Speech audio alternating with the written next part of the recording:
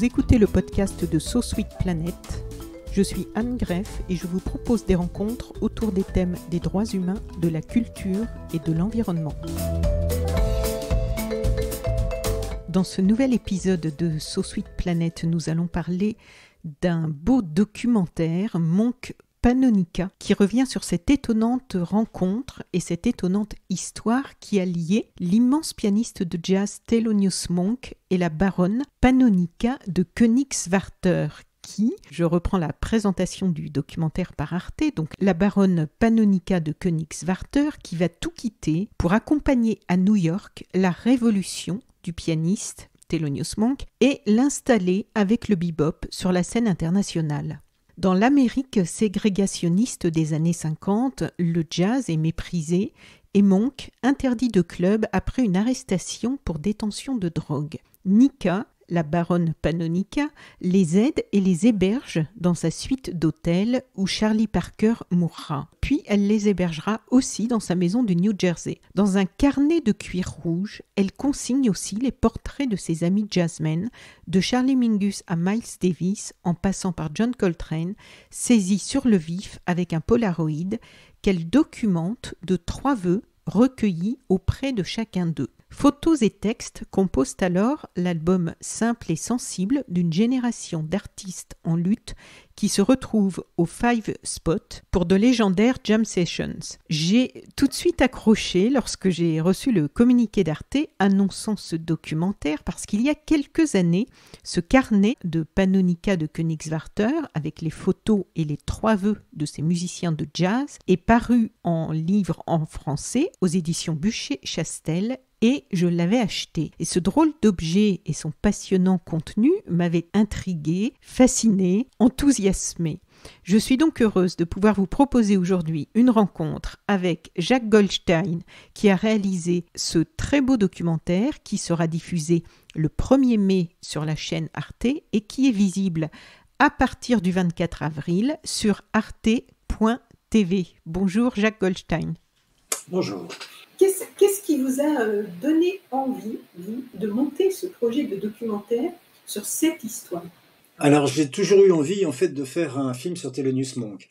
Alors euh, au tout début il y a l'émotion musicale. Je me rappelle précisément de l'instant et du lieu euh, où j'ai entendu Thelonious Monk pour la première fois. j'étais en fac, on avait séché un cours, j'étais chez un copain, il a mis un disque de Monk sur sa platine, c'était Thelonious Monk Underground et voilà, ça m'a immédiatement touché. Ensuite, je suis rentré comme assistant euh, à la télévision, sur France 2, sur une émission musicale. Et je me suis dit que, puisque j'avais mis un pied dans la porte, il fallait absolument que je fasse un film sur Monk. Sauf que c'était en 1982, c'est il y a bien longtemps. En 1982, malheureusement, Thelonious Monk meurt. En 1983-1984, il y a un très beau documentaire sur Monk qui a été produit et réalisé par Charlotte Zverin, qui s'appelle Straight No Chaser, qui est sorti. Et donc je me suis dit, bon, bah voilà, je pourrais pas faire mieux, donc j'ai mis euh, l'idée quelque part dans ma tête. Et, euh, j'ai fait des tas d'autres films. Et euh, je ne me rappelle plus en quelle année, 2005, 2006, le fameux livre que vous avez cité est paru. Et là, je me suis dit, parce que je connaissais Panonica, mais je ne savais pas qu'elle avait produit ce document historique. Et je me suis dit, tiens, là, j'ai la possibilité de raconter une histoire, de parler de Monk, mais pas que. Je vais pouvoir d'abord raconter l'histoire d'une amitié assez extraordinaire, mais aussi, grâce à ce document qui est comme un instantané d'une scène musicale, je me suis dit, j'ai un arrière-plan fantastique hein, pour pouvoir poser mes deux personnages devant, Monk et Panonica. Et voilà. Et là, je raconte une histoire qui est plus large que celle de Monk, qui est plus large que celle de Panonica, qui est leur histoire à eux deux, à l'intérieur de la grande histoire du jazz. Voilà. Je me suis toujours attaché à comment dirais-je, à parler de la musique dans le cadre de la société dans laquelle cette musique est produite. C'est-à-dire que je fais pas, je fais pas des, je fais pas des documentaires de musicologie. Euh, j'inscris, peut-être, si d'une certaine façon, mais j'inscris toujours la musique dans la société dans laquelle elle est née. Voilà. Et là, effectivement, il y a un contexte euh, vraiment intéressant. Et, qui est, euh, pour les, auditrices et auditeurs qui ne connaîtraient pas cette fameuse baronne, est-ce que vous pouvez la décrire un petit peu pour déjà faire connaissance avec elle? Cette femme assez étonnante, je vais juste citer déjà à l'époque, elle décide d'apprendre à piloter, elle rejoint la résistance, elle a un parcours assez, euh, assez étonnant. Et après, on va parler de la suite qui est vraiment très étonnante. Bah, c'est d'autant plus étonnant euh, d'où elle vient. parce que c'est la fille de Charles de Rothschild qui est le, qui était le chef de la famille anglaise des Rothschild, qui était un banquier, et, et, son père déjà était un personnage un petit peu particulier parce qu'il il était banquier malgré lui, c'est-à-dire qu'il a hérité de la charge familiale de la banque, mais ce qui l'intéressait c'était l'entomologie, c'est-à-dire l'étude des papillons et des insectes. Et c'est pour ça qu'il a découvert un papillon en Hongrie, qu'il a appelé Panonica, et il a donné ce nom-là à sa fille. Euh, et donc Panonica est euh, la fille du baron de Rothschild, dans la branche anglaise. Donc euh, rien, absolument rien ne la prédisposait à avoir la vie qu'elle a eue. si ce n'est quand même que son frère avait comme professeur de piano un, noir américain qui s'appelait Eddie Wilson, qui donc, donc y avait du jazz dans la famille. Mais bon, elle avait été programmée euh, pour épouser quelqu'un, euh, un aristocrate de la, de la haute société. Et euh, comme elle avait déjà du caractère, elle avait décidé d'apprendre à piloter et elle a rencontré son mari sur un terrain d'aviation. son mari, c'est Monsieur de Königswarter, dont je ne me rappelle plus le prénom, et qui est, qui est et qui, au moment de la, de la Deuxième Guerre mondiale, euh, a rejoint les forces françaises libres. Et elles aussi se sont engagées tous les deux. Euh, voilà. Et à la fin de la guerre, euh, Monsieur de Königswarter s'est retrouvé ambassadeur de France au Mexique et Panonica s'est retrouvée femme d'ambassadrice au Mexique. Et elle s'est ennuyée. Voilà. Donc, elle, elle, est partie à New York, elle a entendu le jazz et elle a décidé, voilà, ça l'a subjuguée elle, a plongé dans cet univers-là. Et euh, elle a rencontré Thelonious Monk en 1954 à Playel à Paris. Oui, c'est ça, c'est étonnant parce que cette rencontre se fait donc à Paris, à la salle Playel. Et ce qui est étonnant, c'est que chacun va faire basculer la vie de l'autre, en fait. C'était déjà entamé euh, du côté de Panonica. C'est une, pianiste euh, qui s'appelle Marie-Lou Williams, une pianiste nord-américaine qui, a, qui l'a présentée en fait. Euh, non, elle connaissait déjà un petit peu le jazz et surtout elle avait déjà entendu Around About Midnight, le, morceau le plus célèbre de Thelonious Monk, qui est d'ailleurs le morceau de jazz le plus enregistré au monde et le plus joué au monde. Et, elle a voulu, quand elle a appris qu'il passait à Paris, elle a décidé d'aller à Paris.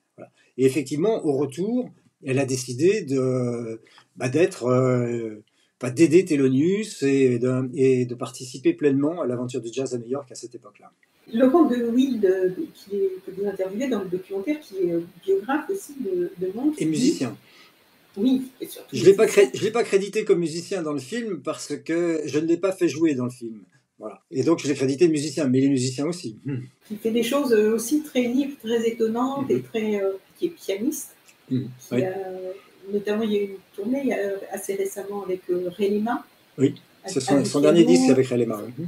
oui, voilà. Donc, lui, il dit dans le documentaire Elle, Panonica, reconnaît tout de suite Monk pour le génie qu'il est, et Monk reconnaît tout de suite Panonica pour sa compréhension de ce qui se passe dans sa musique.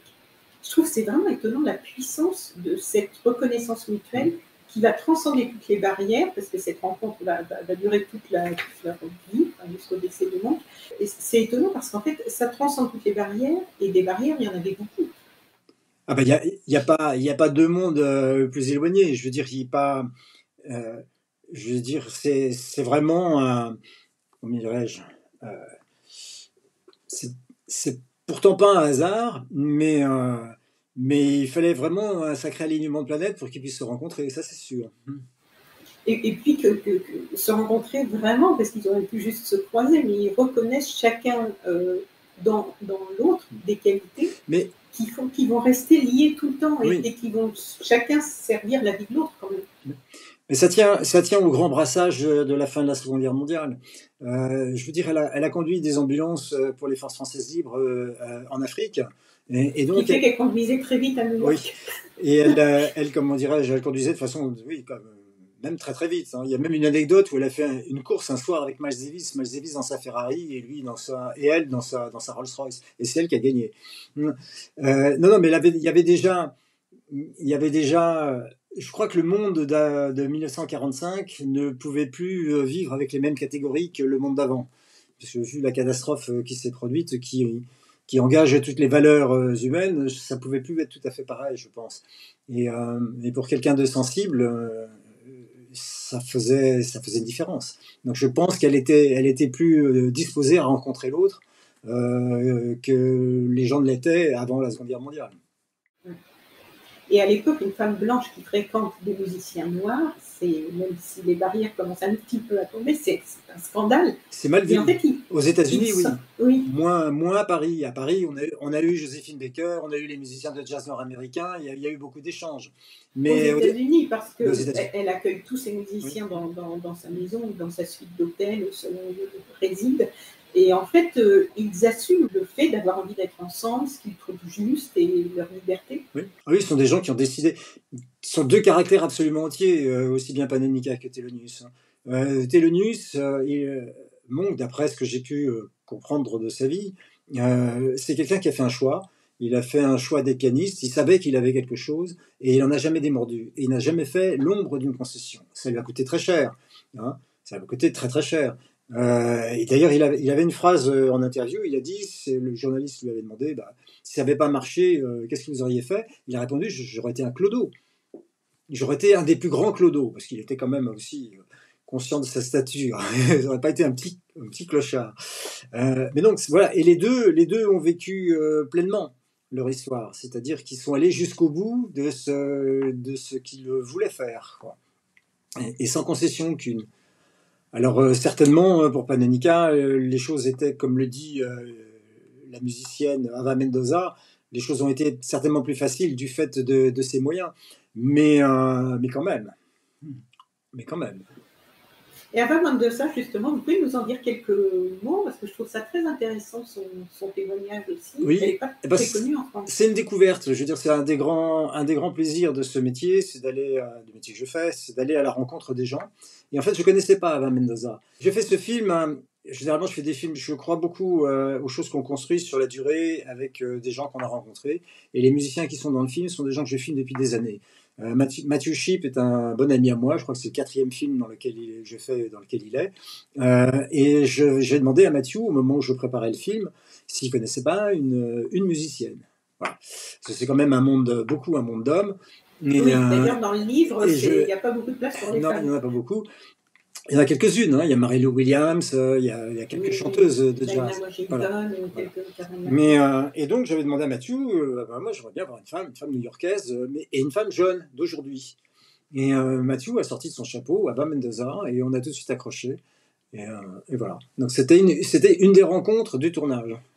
D'accord. Et moi, du coup, je suis, j'ai remonté aussi le fil. Je suis allée voir un petit peu sur le net ce qu'elle faisait, suivre un peu. C'est une jeune femme d'Auckland.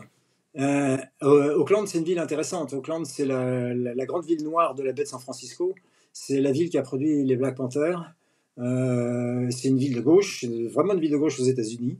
Euh, oui, on sent, on sent dans son vœu, puisqu'on va parler à la fin. Fait, oui. Voilà. Enfin, elle appartient à une, à une, scène qui est bien particulière, qui est une scène cette partie-là de la baie de San Francisco, c'est une scène aussi intégrée, c'est une scène dans laquelle il y, a eu, il y, a eu, énormément de rencontres entre musiciens blancs, musiciens noirs, intellectuels blancs et intellectuels noirs. Et elle, elle se dit, euh, justement, c'est ce qui est intéressant dans, ce témoignage, parce que c'est quand même vraiment une autre génération. Ah, et, complètement. Hmm. Et, elle, elle est guitariste, hmm. et on voit, euh, enfin, elle exprime toute son, son admiration et l'influence hmm. qu'elle a eu. Euh, alors, vous avez réuni des archives, des photos, des extraits de concerts, des contributions donc, de musiciens et d'éclairage, le témoignage donc, du fils de Thelonious Monk aussi. Comment euh, vous avez travaillé? Qu'est-ce qui était important pour vous de montrer, de faire passer au travers de ce documentaire Qu'est-ce qui était important euh, Énormément de choses en fait. D'abord qu'on comprenne euh, qui était Thelonious Monk, qu'on comprenne quelle était sa musique, euh, quels étaient les enjeux de la musique noire aux États-Unis à cette époque-là. Mais je ne voulais pas que ce soit que ce soit simplement une évocation du passé. Ce qui m'intéresse, c'est de montrer ce qui est présent du passé dans le présent, justement. Et, et ce qui me permettait, ce que me permettait de structurer le film à partir des vœux, c'était aussi de, de pouvoir faire de pouvoir faire formuler des vœux aussi à des musiciens contemporains, de montrer que ce combat continue, hein, même, même sous une autre forme, parce qu'on voit bien que les vœux exprimés par les musiciens d'aujourd'hui à la fin du film sont quand même différents de ce. Euh, on sent quand même qu'il y a eu un progrès dans la, dans la lutte pour, la, pour les droits civiques, en tout cas, et que c'est devenu plus une lutte politique, plus générale qu'une lutte euh, pour la reconnaissance euh, des droits d'une race particulière, même si ça reste quand même un peu présent. Euh, et donc c'était ça qui m'intéressait, c'était d'inscrire cette histoire dans le présent aussi. Et ce que j'ai compris, moi, de l'œuvre de Monk, et de tout jazzman, parce que j'ai connu quand même beaucoup de jazzman, j'ai eu la chance de partager un appartement avec des jazzman nord-américains quand j'étais étudiant à Paris. Donc euh, je les ai vus de près, j'ai bien compris ce qu'était le jazz. Le jazz, ce sont des histoires individuelles dans une histoire collective. C'est l'inverse d'un groupe de rock, par exemple. Un groupe de rock, c'est une bande de, une bande de copains euh, de collège, de lycée qui montent quelque chose, ils ont du talent et, euh, et gagnent le jackpot. le jazz, c'est autre chose. Ce sont des individus qui partagent une même culture. C'est-à-dire que j'ai vu à Paris se former des formations pour le soir même. C'est-à-dire qu'un musicien américain arrivait à Paris, il appelait ceux qui pensaient être euh, de son monde au téléphone, il répétait une demi-après-midi et le concert avait lieu le soir et c'était fantastique. Voilà. Donc ce sont des individus, hein, c'est un, petit peu autre chose. Euh, j'ai perdu le film, mais c'est pas grave. C'était ce qui était important de, faire passer. Bah ça, de, montrer, voilà, de montrer aussi que ce sont des individus, mais euh, dans, une forme collective. C'est un, peu difficile à comprendre, mais c'est une dialectique entre l'affirmation d'une individualité et le partage à un moment donné de quelque chose. Voilà. C'est ça qui était intéressant. Et, euh, et, les musiciens contemporains n'essayent pas de jouer du monk. Comme l'explique très bien euh, Laurent Deville, monk c'est impossible. C'est justement là où je, voulais en venir, c'est ce, ce problème d'individualité chaque musicien de jazz doit trouver sa propre voix, son propre son, sa propre histoire à raconter. Voilà. Et c'est quand ils se regroupent, ils forment une histoire commune, mais chacun amène sa propre histoire. Voilà. C'est ça, c'est ça le, ce qui m'intéressait de montrer, et je pense que c'est ça l'essence du jazz. L'important, c'est d'être soi-même, voilà, de trouver son son. Moi, j'ai fait, j'ai fait pour, pour France 2 il y a très longtemps un court programme sur Miles Davis avec une interview de Miles Davis, et Miles Davis disait il suffit que je, il suffit que je souffle dans ma trompette, que je fasse une note et on sait qui joue. Voilà. Et ben Thelonious Monk c'est pareil, c'est trois notes de piano. Moi Thelonious Monk j'ai besoin que de trois notes et je sais que c'est Thelonious Monk. J'entends ça à la radio, je sais que c'est Monk. Voilà. Je sais que c'est Miles Davis et je sais que c'est John Coltrane. C'est ça le jazz. Alors il y, a, cette fameuse maison où Panonica euh, héberge beaucoup de, musiciens, beaucoup de chats aussi, si j'ai bien compris. Oui une, maison qui est un point de ralliement. Mais en fait, j'étais un, peu frustrée qu'il n'y ait pas euh, plus d'archives vidéo, même de Panonica, et j'ai fait des recherches. Je n'ai rien. Non, parce qu'il n'y a rien. Quasiment rien. c'est ça. Alors qu'elle est décédée en 88, donc quand même, il y avait, des images possibles. C'était quelqu'un qui, euh, c'était quelqu'un de discret, c'était quelqu'un qui euh, n'avait pas de problème d'ego, je pense, qui n'avait pas besoin de, de, se mettre dans la lumière. Voilà. Et il n'y a pas d'interview, il n'y a rien. Non. Non, non, il y a, y a, dans le film de Charles Verine un moment où, on l'entend parler au son, où elle raconte des choses. Euh, c'est un travelling assez sombre de nuit. On la voit pas, mais elle parle. Non, elle, ne s'est jamais mise en avant. Euh, Parce que même le, documentaire dont on, parlait, dont on a parlé avant de commencer l'interview, euh, que j'ai trouvé dans une version très fatiguée, qui était, je crois, produite par la BBC, d'une heure et demie quand même, et je n'ai pas tout re-regardé, mais je l'ai passé en accéléré tout à l'heure en me disant, mais quand même, est-ce que eux, ils, avaient Non, non, non. Non, il n'y a rien plus. Non, non, non, justement, elle, elle, elle essaye de, de, de faire parler Panonica. Je veux dire, elle, parle à sa place. Voilà. Moi, moi, j'avais un contrat moral avec la famille euh, qui était de respecter cette, euh, cette place discrète de Panonica. Mhm. Et, euh, et je m'y suis attaché parce que je trouve que c'est juste. Je veux dire, c'est effectivement, il n'y a pas, euh, pas d'interview de Panonica. C'est pas quelqu'un qui euh, s'est fait, euh, s'est mis en avant à, l'occasion de ce qu'elle avait pu faire pour les musiciens. Et ça, ça ne fait que renforcer, pour moi, l'admiration que j'ai pour, pour cette femme.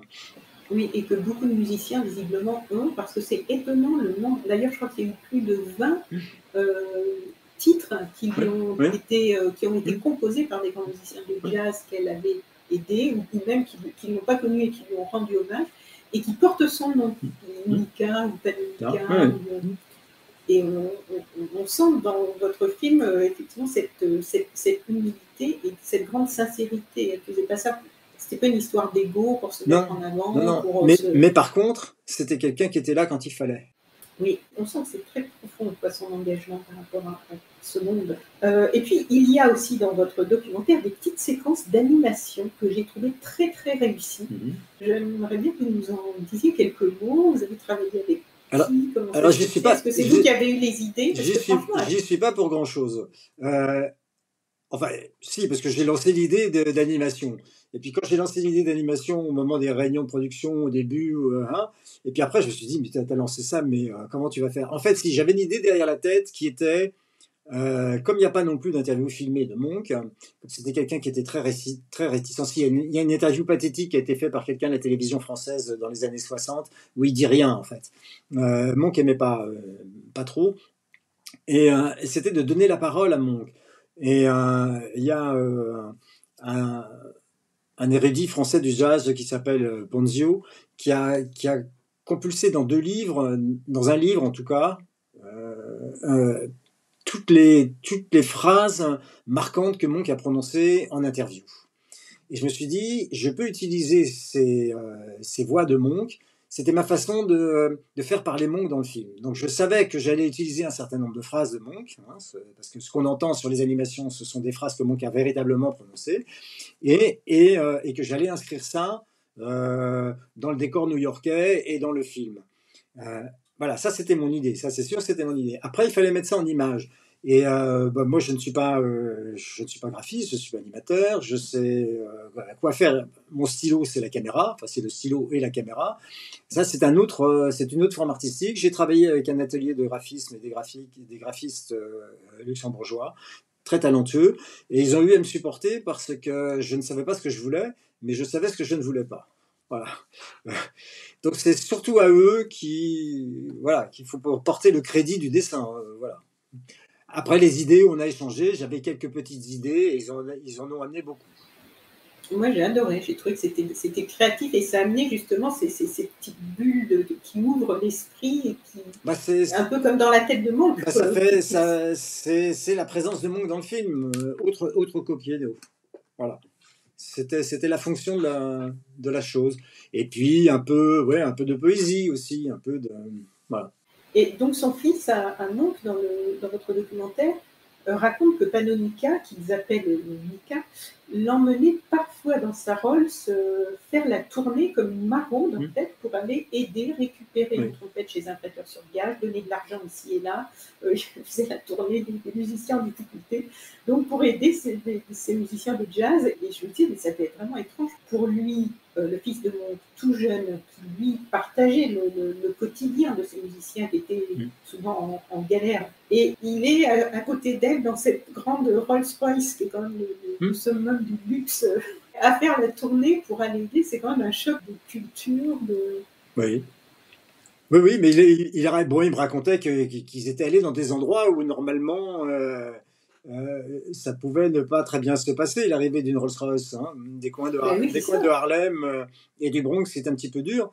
Mais en fait, il m'a dit que ça s'était toujours très très bien passé et que euh, voilà, parce que c'était tellement énorme que bah, qu'à la fin ça passait certainement. Et puis et puis surtout, face aux gens qui les voyaient descendre, bah, c'était une telle stupéfaction que ça pose plus de questions que que ça, ne, que ça ne provoque immédiatement d'agressivité. Et puis je pense que ça tient à l'attitude de, de Nika. Hein. Elle conduisait, elle conduisait la Rolls-Royce comme si c'était une, euh, une Buick. Et elle n'y faisait pas très attention, je pense. Oui. Il y avait une Bentley décapotable aussi, mmh. Et donc, elle emmenait Monk que jouait dans les clubs le soir. Oui, oui. Bah, dans, dans, un premier temps, elle, elle, elle, recevait tous les musiciens dans ses suites euh, au Stanhope, et puis qui est un grand hôtel new-yorkais. Charlie Parker est donc mort des, quand, j'utilise le terme overdose dans la, voix off, c'est pas une overdose de drogue, c'est une overdose de tout. Je veux dire, il buvait autant qu'il euh, qu'il prenait de la drogue. Donc euh, son corps, euh, voilà, son corps a lâché chez, chez Panonica. Et, à partir de là, ça a été un scandale. Et ça a été un gros problème aussi pour Panonica parce que le scandale, tous les tabloïds s'en sont emparés. Le roi du bebop meurt dans la suite de l'aristocrate. C'est arrivé jusqu'à la famille en Angleterre, qu'il a désavoué à ce moment-là et qui, qui, qui lui a coupé les vivres. Voilà. Bon, maintenant, quand on coupe les vivres dans ce monde-là, il en reste toujours suffisamment pour, euh, pour entretenir un certain train de vie. Hein. Voilà. Oui, c'est ça. Et je ne sais plus si c'est dans le, dans le livre, j'ai relu l'introduction euh, justement hier, où euh, je disais que ce, cet hôtel, en fait, comme ils étaient, savait plus comment s'en débarrasser parce que ça les, ça les dérangeait, tout, Ah bah, parce que- ce monde qui venait, parce qu'en plus, Il jouait, il jouait le soir. il jouait la nuit. Ah oui. Et, donc, je sais plus si c'est dans votre documentaire ou là j'ai vu, en fait, l'hôtel, il savait, donc il savait pas trop, et en même temps, c'était quand même une personnalité d'une grande Mhm. famille, Mhm. ils ne pouvaient pas trop la mettre dehors comme ça, euh, comme une malpropre, et donc, il, il n'arrêtait pas d'augmenter le, le prix Oui, de la et elle. Ils suivait. doublé, Oui, elle suivait. oui, elle suivait, et elle avait décidé qu'elle resterait là, et donc, elle payait euh, trois fois le prix Ouais. la, suite. et- Ah bah, c'est difficile, c'est difficile de se débarrasser d'une Rothschild, ça c'est sûr. En tout cas, avec l'argent qu'on peut y réussir. Mais bon, euh, toujours est-il, elle, a- elle a quand même déménagé dans un autre hôtel qui s'appelait le Bolivar, qui était un peu moins somptueux que le, que le, Five, euh, que le Stanhope. Mais après, après que l'appartement de Monk est brûlé, euh, elle a décidé de- d'acheter la maison dans le, dans le New Jersey, qui était la maison de Joseph euh, von Sternberg, le cinéaste. hein. Et, et là, il n'y a pas non plus d'archives, euh, il n'y a pas quasiment rien comme archives de- dans la maison, Dans- à part quelques il y avait photos, quelques- photos, il y avait quelques photos. dans la. Je- moi, je voulais y tourner, mais ça n'était pas possible parce que euh, il vivait encore euh, à l'intérieur un musicien, un ami de Panonica. Comme je, dis dans le film, l'histoire continue. Euh, ce, voilà, ce pianiste, c'est Barry Harris, euh, qui est un pianiste noir vieux et qui malheureusement est décédé là récemment. Il est décédé en fin septembre, je crois, des suites du Covid. Mais quand j'y étais, moi, au printemps dernier, ça, ne m'était pas possible d'y tourner. Donc je n'ai pu tourner que la façade. Et, et j'ai- trouvé un angle qui, qui me permettait de faire le raccord avec le Polaroid de, de Thelonious Monk que Panonica avait pris. J'aurais bien aimé tourner dans la maison, mais c'était pas possible. euh, voilà. Et on sait ce qu'elle va devenir maintenant, du coup, cette musique? Euh, non, non, je ne sais pas. Hmm. Et alors, donc, son fils raconte aussi que son père, qui suivait donc sa propre route et voulait trouver son propre son, euh, a engendré beaucoup de grands musiciens parce qu'il les a poussés à sortir de leur zone de confort. Donc, s'il n'avait pas été aidé par la baronne, euh, on n'aurait sans doute pas connu. Donc, il aurait été, oui, sans doute, un grand clochard, comme on disait. Euh, mais nous, on n'aurait sans doute pas connu. Son nom ne serait pas resté dans l'histoire de la musique, peut-être. Et par ricochet, pas mal d'autres grands artistes n'auraient peut-être pas dépassé eux-mêmes leurs limites et marqué euh, autant l'histoire. Oui, moi je pense que c'est C'est ce qu'on peut. Oui. Ah, c'est ce qu'on peut dire, oui. oui. Mon- Monk est un, Monk est un point, un point de bascule du jazz, un point central du jazz. Il est, il est vraiment à la frontière entre euh, tout l'héritage de la, du comment dirais-je, de, la naissance du jazz, euh, les grands orchestres, la Nouvelle-Orléans, les grands orchestres de swing, euh, le bebop, et on va passer à autre chose. Et on va passer au jazz modal, on va passer au free jazz, on va passer à plein d'autres formes. Et il est, il est le point de bascule dans la modernité. Il a un rôle absolument central. Et c'est frappant de constater, moi j'ai bien connu les musiciens de free jazz, puisque c'est ce moment artistique, euh, c'est à ce moment-là que j'ai rencontré les Noirs américains euh, à Paris, ils étaient exilés à Paris. Et, ce qu'il y a d'étonnant, c'est que tous ces musiciens de free jouent un morceau de Monk. Tous. Que ce soit euh, Don Cherry, que ce soit Archie Shepp, sur leur disque, il y a tout le temps un morceau de Monk. Tout le temps. Voilà. On n'y échappe pas. Donc c'est un- c'est- c'est une, position centrale et c'est un point de bascule. Oui, et c'était un point de bascule dans sa propre histoire parce que vous racontez aussi que c'était lors d'un festival, je crois, où Miles Davis euh, joue un de ses titres Oui, et où en euh, fait euh, Ron- personne ne fait attention à Monk et qu'il n'y en a que pour Miles alors que c'est lui, lui qui a composé. composé. Oui, Oui, ça c'est bah, la, la destinée de Roundabout Midnight. oui. Voilà. Que, euh, que Miles a joué avec la trompette à sourdine, alors ça a épaté tout le monde. Euh, Il y, a eu une- il y a une standing ovation. Miles le raconte d'ailleurs. Miles, il comprenait pas. Il dit ouais, moi j'ai joué Around Midnight comme euh, voilà, comme comme j'aurais pu le jouer une autre fois. Et, et en sortant, il y avait même des gars des maisons de disques qui étaient là qui lui proposaient des contrats, alors que tout le monde tout le monde ignorait Monk qui était le compositeur. Et d'ailleurs, Monk et Miles se sont disputés dans la voiture qui les ramenait après. Voilà. Parce que Monk aurait voulu que Miles. Non, parce que Monk, Monk- Monk aurait dit à Miles, euh, mais tu l'as mal joué, euh, Around Midnight. Et en plus, tu l'as mal joué. Et, euh, et euh, Miles lui aurait dit, euh, oui, mais tu dis ça parce que tu es jaloux, etc. Et Monk a arrêté la voiture, paraît-il. Il est sorti et il est rentré après euh, par ses propres moyens. Et donc sur une des, des, séquences animées là, que j'ai beaucoup aimées, on entend euh, une phrase magnifique de Thelonious Monk, une note peut être petite comme une tête d'épingle mmh. ou grande comme le monde. Tout dépend de votre imagination. Donc vous avez distillé ça et là ces petites phrases-là qui finissent par composer un, tableau. Qu'est-ce qui vous touche le plus de ces deux personnalités étonnantes de Panonica et de Monk? Je dirais euh, l'exigence et euh, l'exigence artistique et la rectitude de la vie. Voilà. Ce sont, des gens qui étaient entiers, qui étaient, euh, qui étaient pleins et qui, et qui sont allés tous les deux jusqu'au bout, chacun, chacun à sa façon, chacun dans son domaine.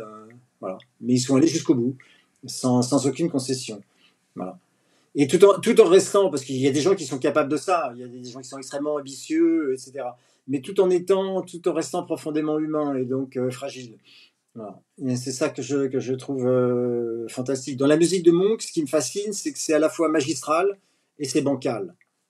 Donc c'est profondément, profondément humain. Ah oui, c'est magistral parce que vous pouvez demander à n'importe quel musicien, il y a des morceaux de Monk à jouer, c'est costaud. Pourtant, quand vous, vous croyez que vous pouvez euh, siffloter l'air, parce que c'est absolument évident, hein, il y a des mélodies qui sont évidentes, et puis vous essayez de le faire et vous vous rendez compte que c'est beaucoup plus complexe que ça, n'y paraît. Et quand il joue, on a toujours l'impression que c'est à la limite. Voilà, il y, a un, petit côté qui est surprenant, qui fait euh, que vous rentrez dedans. Voilà. Moi, je trouve que magistral et bancal en même temps, pour moi, ça me va très bien.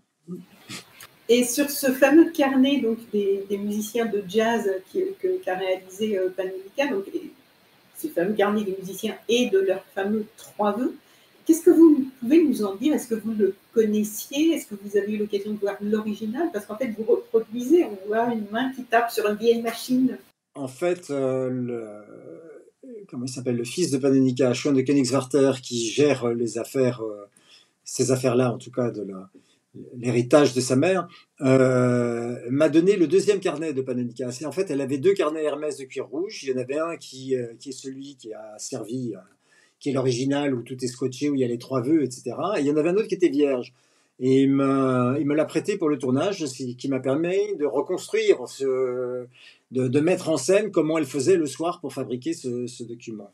Voilà avec la, la, super belle vieille machine à écrire. Là, ouais, bah, c'est pas tout à fait la même. En fait, on en, avait trouvé, on en avait trouvé une plus ressemblante, mais qui a cassé la veille du tournage. Donc il a fallu en trouver une autre, qui était un peu plus massive, mais qui était pas mal, euh, qui, a, marché en tout cas.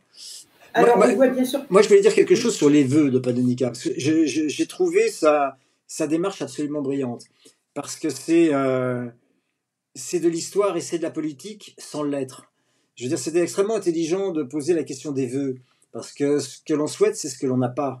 Et je veux dire, c'est en fait, en, creux se dessine ce qui manquait à ces gens-là. et c'est ça, que je, ça que je trouve brillant. Et, dans, et, euh, et extrêmement politique tout en n'étant pas. Hmm. Euh, obviously, comme ils disent les anglo-saxons. C'est pas, c'est pas évidemment, éminemment, évidemment, c'est éminemment politique, mais ça n'est pas évidemment politique. C'est très fin. Et je trouve que c'est bien, c'est bien à l'image de cette personne. Mais est-ce qu'elle avait euh, l'intention de le publier quand elle l'a fait, on sait, ou c'était destiné euh, juste à Alors je ne sais si, si elle a eu l'intention, elle l'a pas réalisé, donc je serais tenté de dire qu'elle n'avait pas l'intention. Mais euh, et c'est en fait, je crois que c'est Nadine, sa petite fille, qui l'a retrouvé dans un carton quand il s'est agi de ranger la chambre de Panonica. Dans un carton, ah dans un carton sous un lit, oui, oui, oui, c'était ça avait été complètement oublié. Ça avait été oublié. incroyable. Ah et, le, et, le travail photographique des, des Polaroids est extrêmement intéressant parce qu'il y a, il y a euh, le jazz est une forme artistique qui est presque complète puisqu'il y a la musique, ça a engendré une forme de graphisme et ça a engendré une école photographique hein, euh, de la musique. Je veux dire, euh, tout le monde cadre le jazz à partir des, photographies de jazz que fait, euh, qu'a fait Francis Wolff, euh, un des propriétaires de Blue Note Records et les fameuses pochettes de disques de Blue Note Records. On, en trouve des imitations dans tous les genres musicaux encore aujourd'hui. Hein. On n'a pas fait mieux, pas fait mieux au graphisme de pochettes de disques depuis. Donc c'est une esthétique, c'est comme dirais le jazz est une forme esthétique globale. Et, et les Polaroids de Panonica s'inscrivent un peu à, à, contre de cette esthétique très léchée. Ce sont, sont des jazzman hein, dans la, absolument détendus, à un moment où ils sont pas en représentation, à un moment où ils sont, un moment où ils sont pas sur scène et à un moment où ils ne posent pas. Et, et ça en fait toute la force. Euh, voilà. Moi, je trouve, enfin, je veux dire, c'est très attachant. Et puis, ce qui est intéressant, c'est que la matière du Polaroid se dégrade un petit peu, donc on voit le temps qui passe aussi. je, trouvais que c'était une assez belle matière euh, visuelle. Oui, oui. Il y a de très belles images d'ailleurs dans votre mm. documentaire aussi euh, que vous avez tourné. Qui sont, il y a des belles images d'archives mm. et aussi un pont de nuit à, New York là, qui est mm. magnifique là dans une brune. Années 50, oui. oui. Ça c'était pour la le soir sombre euh, où, où Thelonious Monk s'est fait arrêter. Et en fait, les, trois, les, histoires des, trois vœux des musiciens dans le livre, je crois qu'il y en a, j'ai essayé de retrouver, je crois qu'il y en a 300, hein, c'est ça? Je me rappelle plus exactement. 480 et quelques. Donc c'est énorme et en plus chacun trois vœux. Donc, euh, vous, comment euh, les avez-vous choisis, ah. les vœux que vous avez bah, je, extraits je, les, ai évidemment choisis en fonction des propos que je voulais tenir. Euh, c'est-à-dire qu'il y, a des tas d'autres vœux qui, qui sont différents. Mais quand même, quand on le lit, on se rend compte quand même du, de la... Comment dirais-je De la de la revendication de reconnaissance d'un art. Voilà, c'était surtout ça.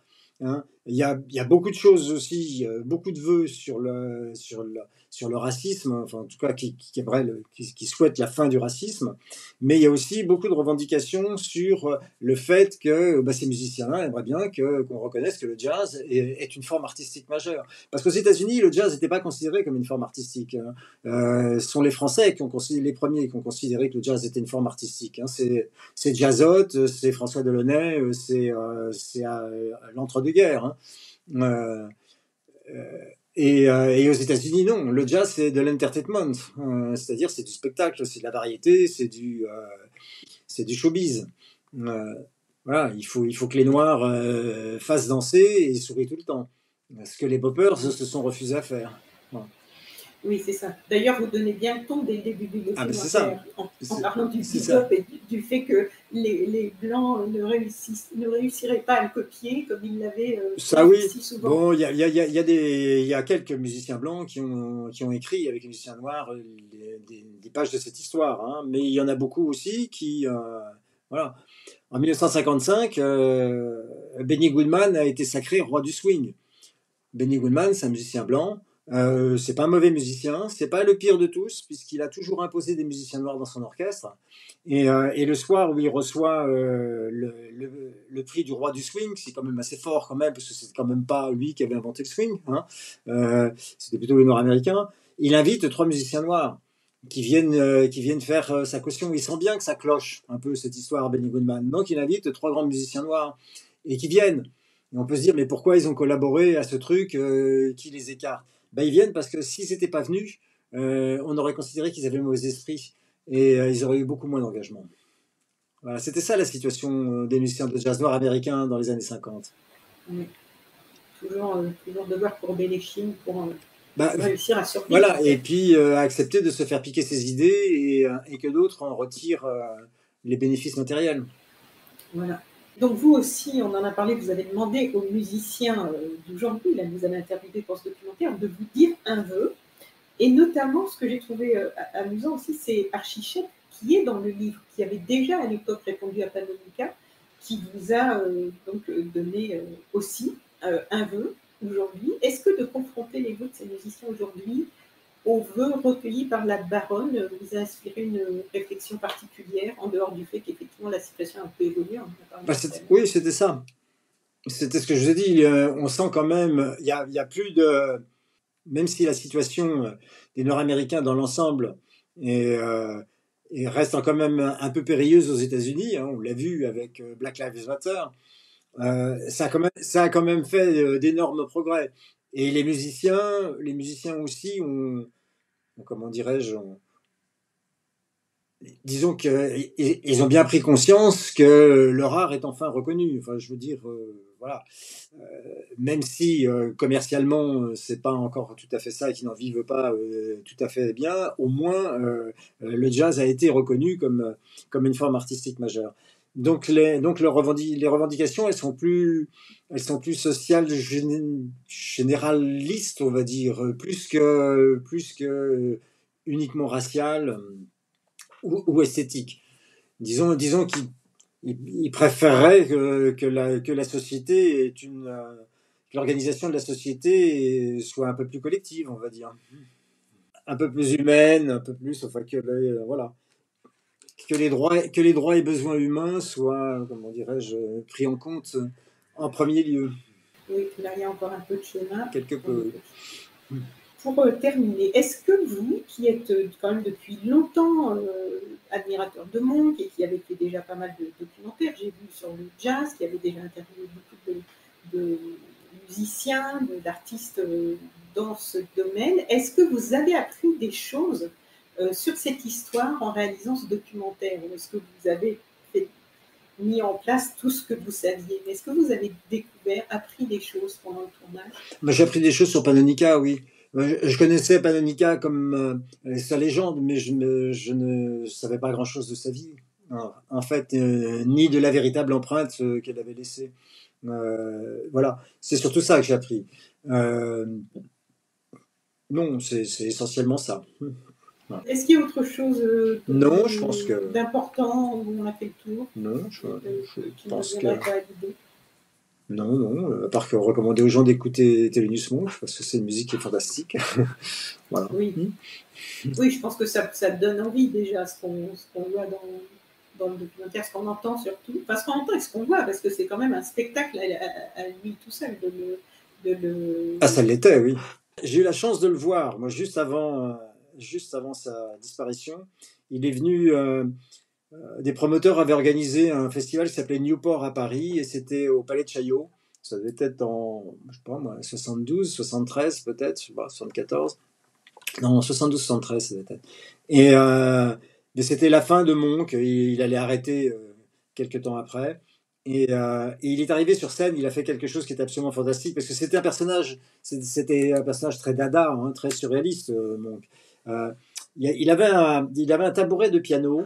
Euh, il y a deux genres de tabourets de piano. Hein. les, rectangulaires, comme ça, qui peuvent se monter un petit peu. Et puis, il y a le, tabouret euh, strictement rond, hein, une circonférence comme ça. Donc, il est arrivé avec ce piano, devant ce piano, il a vu le tabouret, le tabouret était rond, il lui a fait faire un tour comme ça, ce qui revenait exactement au même pour, pour, pour s'asseoir. Voilà. Donc ça, c'était complètement absurde comme geste, mais c'était voulu. Et évidemment, toute la salle a éclaté de rire parce que euh, voilà, c'était le genre de blague que pouvait faire Monk.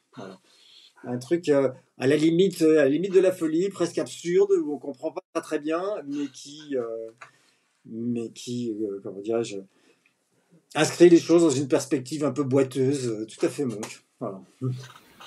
Très bien.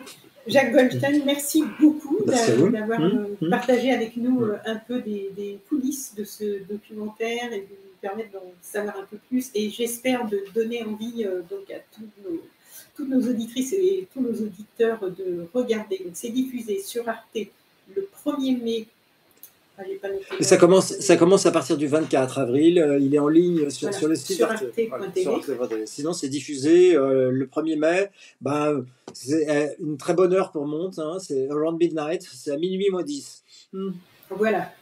Donc minuit moins 10. Et pour les couches tôt, si vous n'êtes pas euh, devant votre télévision le 1er mai, donc sur arte.tv.